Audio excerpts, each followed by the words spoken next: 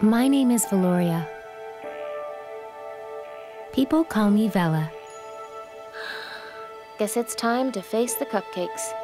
Well, a lot of people call me traitor. What if we fought the monster instead of feeding it? The Grand Moggs have visited our lands for as long as anyone can remember. If you destroy the feast, Mog Chothra will destroy this village. That's what I get for asking questions.